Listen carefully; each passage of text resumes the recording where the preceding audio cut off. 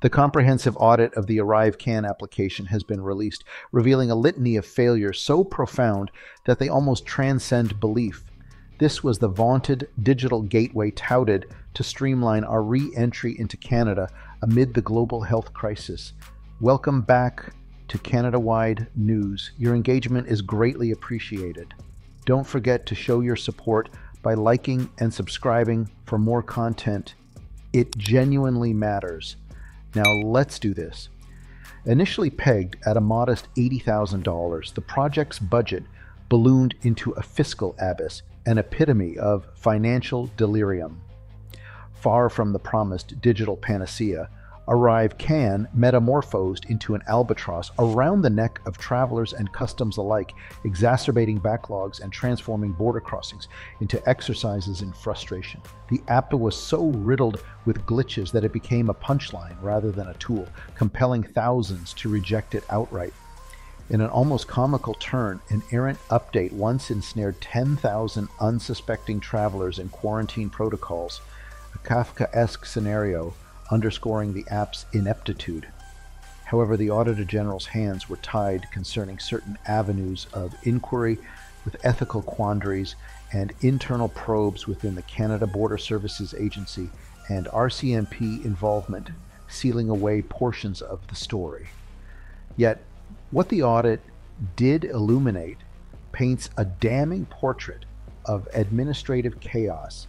Consider the bafflement 18% of scrutinized contractor invoices were so nebulous that discerning their relevance to ArriveCAN was impossible.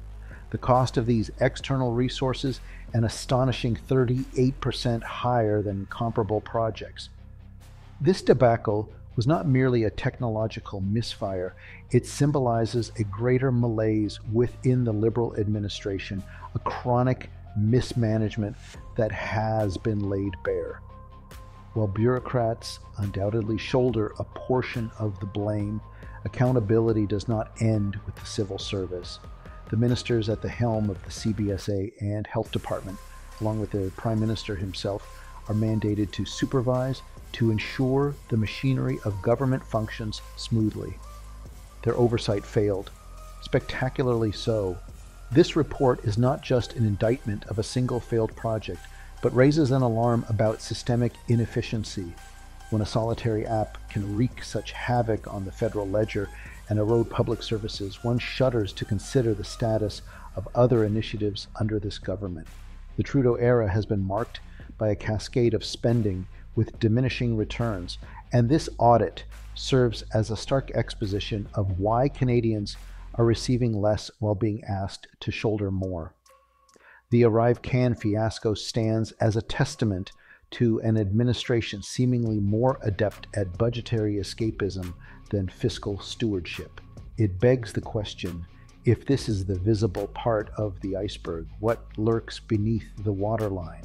As we continue to dissect the layers of this report, Join the conversation, share your insights across social platforms, and ensure you're subscribed to our channel for the latest in depth analyses. Thanks for watching Canada Wide News. Your engagement is greatly appreciated.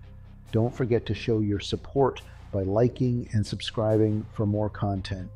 It genuinely matters.